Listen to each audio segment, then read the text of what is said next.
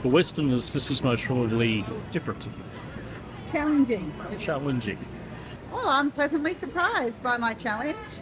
It's quite a generous serve, isn't it? Hi, we're the Flying Finneys, a 50 something couple on their way to visit 60 countries before we turn 60. We're currently in country number 7, Taiwan. In this video, we embark on our first food challenge to try some of Taiwan's most famous delicacies while pushing ourselves way outside our comfort zone. Join us to see who wins the challenge. We're at the Raohe Street Night Market, which has a whole lot of inexpensive and delicious street food that will inspire you to come and visit the amazing city of Taipei.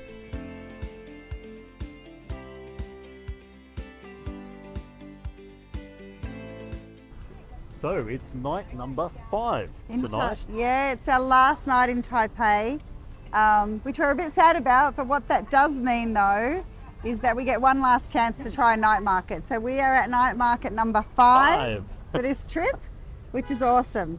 So we're currently just outside of Songshan Station, the MRT station, at a night market called the Rahao, Rao, something like that. R A O H E, and I apologise for the pronunciation. Now, this particular night market, as with all, have a few specialisations, and it might lead us to having a little bit of a challenge night tonight. We've been talking about things like you know, intestines and stinky tofu, which I think a lot of Western tourists talk about. I think tonight might be the night to try it out. I've been trying to get myself accustomed to the scent of stinky tofu, thinking that that would mean that I would find it easier to eat. But as we walked to the MRT station tonight, we went down one street where there were multiple restaurants cooking stinky tofu. And I realized that I don't think my strategy has worked. I'm probably more sensitive to that scent than I was at the beginning of the week. But really, this is about trying different things. And I think that when you go to different countries, if you don't take the opportunity to try different things, well, you're most probably missing out. And tonight, we're not going to miss out. Are you going to try stinky tofu? Oh, well, we might be tossing head or tails for that. Because I'm not trying intestines. Then I guess you're the stinky tofu person. Uh, okay, let's go do it. Give it a go.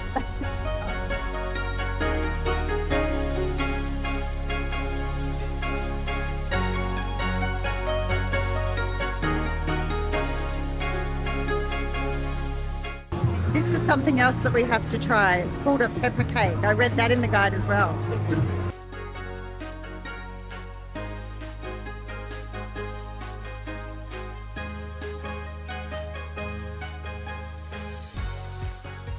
We are starting with something more familiar. And while we haven't had one of these before, it was written up in the Michelin guide as well as a don't miss this. And the stall is literally right as you come through the entrance to the market. It's right there. And I was worried they were going to sell out, so we're going to try this first. It was 60 Taiwanese dollars. So what's that? About $3 Australian? Quite a generous serve. Look. It's got pork inside. It was cooked in that tandoor style oven and it's really crispy. I guess there's pepper in there if it's called a pepper cake as well.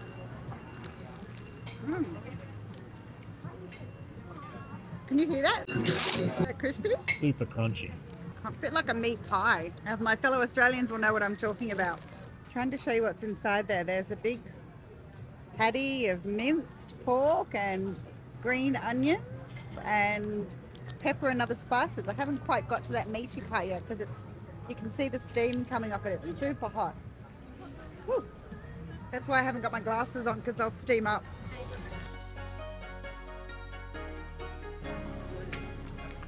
So good. The meat is really juicy. You can see it now that I've bitten into it. And yes, a lot of black pepper. It's not burning spicy, but it's kind of sitting in the back of my throat. Ooh, hi, puppy. um, everyone brings their dogs to the night market and bring them in a doggy stroller. So the pepper was kind of sits in the back of your throat. That's kind of catching my throat a little bit, but it is absolutely delicious. Definitely belongs in the Michelin guide. Whether it belongs alongside stinky tofu in the guide is yet to be determined. But I'm going to have one more bite before I hand it over to Graham. Just letting this waft across the smell is delicious. It really is. I'm quite looking forward to this.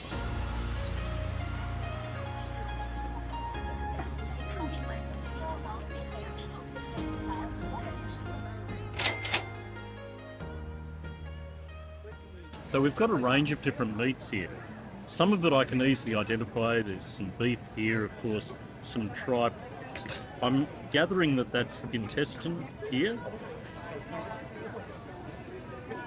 Some of it I'm not sure about, but the smell coming off is really is mouth-watering.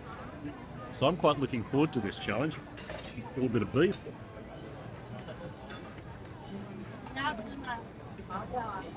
Which is just so tender, it's mouth-watering. Bit of the intestine here. Mm.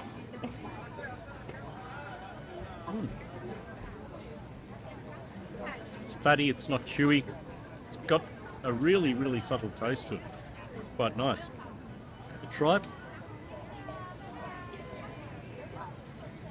Mm. It's a different type of taste. Bit of chili with that, so it's got a bit of kick to it. And then a bit of marrow. I've had this in some of the other soups that we've had here in Taiwan. It's quite good. So, all in all, it's delicious. I like it. Now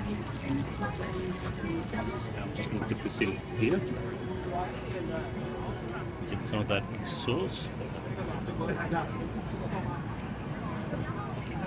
So this is the piece de resistance. I, I think that I've actually got off pretty well in this challenge because I've really enjoyed the last dish.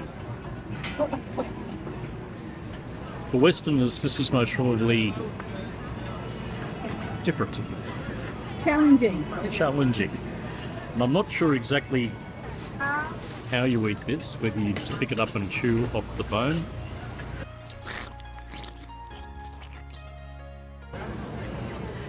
Taste is fine. It's most probably more the texture and the thought. But I'm sure that there's a lot of goodness in this leg. And it is actually both juicy and delicious. Nice and peppery. I'm assuming that was a duck foot that Graham just ate because it was so large. Honestly, it looked like a little mini dinosaur that you were eating. I felt like I was in Jurassic Park or something. So that dish was quite filling. I, I enjoyed it. Would I have it again? Yes, I would. Um, the chicken feet or the duck feet, most probably not. But the rest of it, fantastic. We were actually sitting down beside uh, a couple from Melbourne who were also um, here enjoying Taiwan. And we were just talking about we don't see these types of night markets in Australia, and I think that it's um, it's disappointingly so because there's just so much vibrance here, um, so much energy, um, and fantastic food. I've just figured out the difference in this challenge for Graham and I. So, what Graham just ate was probably unpalatable food that is made palatable through a beautiful sauce and a stewing process, right? What I'm going to do is the opposite. They're taking something palatable, tofu, and actually stewing it in something which to me is very unpalatable Unusual, untried. for me. You never know. You Yeah. might love it. I I may, I may. Anyway, I'm rethinking this. Graham's now done his half of the challenge. What's what's the penalty if I don't do my Sorry, part? You, you're not going to wimp out on me now, are you? There's all these yummy, delicious things to eat here that I really want to try instead of tofu. All right, Trace. Ah, It's Why don't you tell time. us what's going on? It's time. I can't avoid this any longer. Decided to do it earlier in the night rather than later so I can just get it over with. I bought myself a drink to wash out the flavour afterwards. In the off chance that I don't like it, you know, just in case. What are the chances that I don't like it? So, this stall, Well, this is the one that's written up in the Michelin Guide, so we figured if you're going to do it, do it right. I hope they're not offended if it gets wasted though. have you got a selection? the choices are endless, you know. You can just go plain old stinky tofu, or I can go stinky tofu with duck blood and chitterlings gets better for me. I'm just going to go plain old stinky tofu.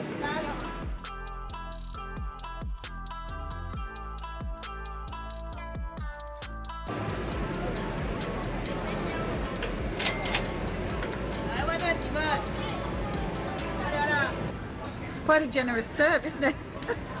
this one actually has um, a mild smell, I would say. So until you pick it up, oh, it's like I, it's like I released the vapor. I'm rethinking this. Kind of wish I was sitting down and I could hold my nose like a child. Might dip it in the sauce first.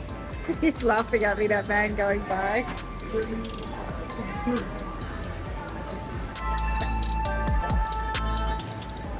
Actually, it tastes okay. it does smell horrendous, but you can't taste that. You honestly can't taste that smell. It's quite bland. It's hard to eat, but it's just, it's actually, you cannot taste that stench. Which is so weird because usually it's the opposite. The smell usually makes things taste like the smell is 90% of the experience, usually, right? I wouldn't choose, I wouldn't buy it again, but it's probably a bit like Vegemite for non Australians, you know. They, to us, we really like Vegemite, but to people who weren't raised eating Vegemite on toast for breakfast, it has a really strong, pungent um, smell.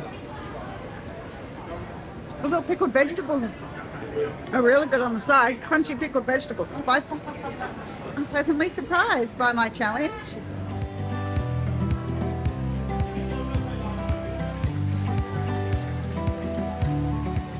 Managed to find the herbal stewed ribs. Um, and we believe that there are a whole lot of medicinal herbs that are stewed up within the broth itself. And the ribs looks like the meat is just falling off the bones. Just been up having a look at how they're made, and um, again, it just looks delicious. It's served with some sauce here, which is actually quite mild. It's not spicy at all. Just very flavoursome. So, quite looking forward to this.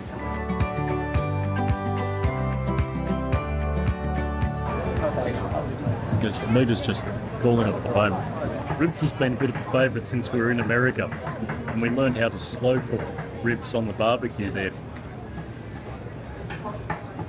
Just a different variation. I'm going to try a little bit of the broth. That's that's just delicious. I think um, broth has been one of the absolute standouts here in Taiwan. Everywhere we've gone and had, whether it's beef noodle soup, or pork broth soup, broth has just been amazing, and this is no different. You think? I'm thinking that I'm not going to give it back to you.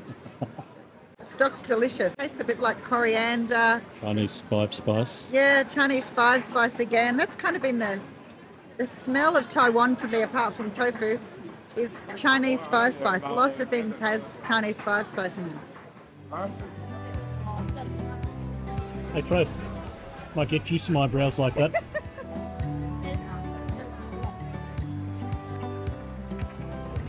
So we've just walked all the way down the street on one side of the market and it's quite long. So let's go and see if we can now find something a bit more substantial for me to have for dinner. Because Graham's really full because he's eaten all the food that he was challenged to eat. I, on the other hand, have not eaten very much. So let's go and find something yummy. I found something I'm after. It even has vegetables in it. Two, 200? Ten dollars. Quite a bit of money.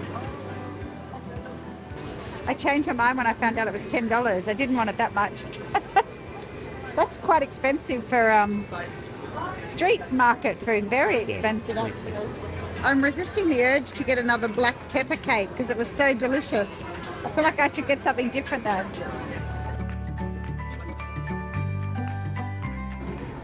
We found Tracy at the end of a line. I think it's like a it's like a pork sandwich in a weird way, a little pastry thing that I'm going to have to fill me up. It's like a pastry shell that's open and looks like stewed pork inside. Better, thank you.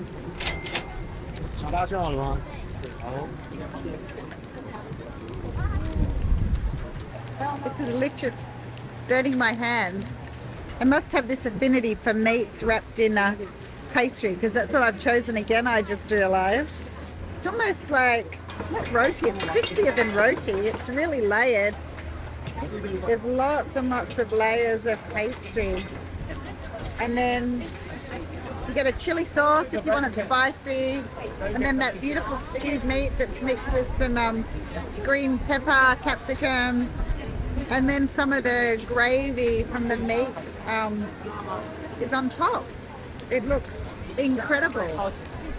And I'm sorry, you, again, you can't smell it because that's kind of 90% of the joy of this.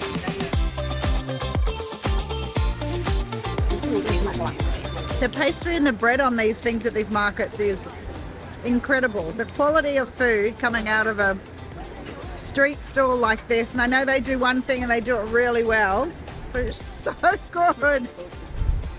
Australian meat pies have nothing on this. We need to um, up our game, Australia. So tonight I think I get to claim the victor's crown for uh, some of the most interesting dishes that we've had so far here in Taiwan and that means I get to choose dessert. We've opted for this Vietnamese whole range of different yummy desserts, most of them jellied with a sprinkling of peanuts on top and some sweet milk running all over it. We were asked whether we would like two of them. I'm not sure that we can fit one between the two of us, but let's see how we go. Despite us commenting on how big that dessert was to share, we managed to eat it all. It was actually quite light. It's like a sweet coconut milk with just little pieces of jelly, some fresh mango, some light cheese, and there were some red beans in there. So it's actually quite refreshing, trying to figure out how to make something similar at home. It is definitely time to leave this market because our tummies are full. We've challenged ourselves and it is time to go back for our last night of sleep before heading to a new country tomorrow where we might get more great food and probably more great desserts like this. In our next and last video from Taiwan, we show you what you can't afford to miss if you visit this amazing island, except maybe for an earthquake. We're having an earthquake.